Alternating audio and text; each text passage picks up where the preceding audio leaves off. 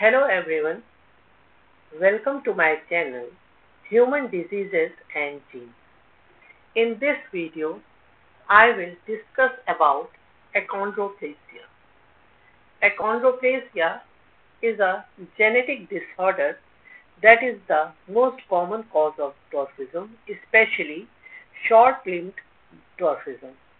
The prevalence of achondroplasia in the general population is estimated to be 1 in 15,000 to 1 in 40,000 live births worldwide.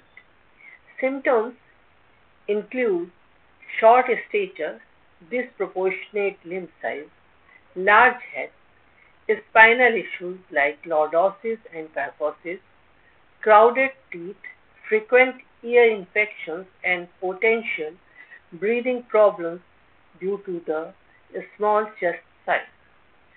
Achondroplasia is caused by mutation in the FGFR3 gene. The FGFR3 gene, named fibroblast growth factor receptor 3, encodes a membrane bound receptor that is part of the fibroblast growth factor receptor family. FGFR3 plays a critical role in regulating cell growth, differentiation, and survival, particularly during bone and cartilage development. Achondroplasia is inherited in an autosomal dominant pattern. There is no cure for achondroplasia, but treatment focuses on managing symptoms and complications. This is all about achondroplasia. Remember, understanding diseases help us to all stay healthier. Thanks for watching. So today we learned about achondroplasia, its causes, symptoms and how it affects the body.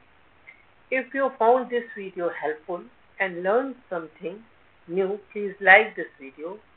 Don't forget to subscribe for more healthy insights.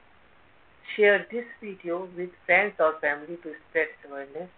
If any if you have any questions or personal experiences or stories with this disease, drop a comment. I had love to hear from you. Don't miss my next video. Until then, stay informed and take care of your health. Thank you very much. Thanks for watching.